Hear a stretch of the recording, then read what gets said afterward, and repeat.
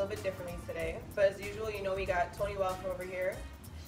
And we have BG who's actually on camera this Okay? Yes, my that is my gunshot. Okay. What? my gunshot is blue.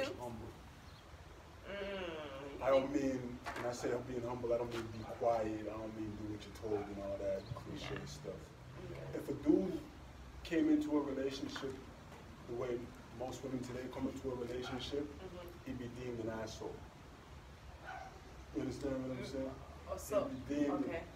Think about it. You come here. Listen, this no, is what I want. You point, please your point. You gonna so, fit yeah. this profile? Listen, what's your bank account like, huh? you, you think, you think that's how we talk to you guys?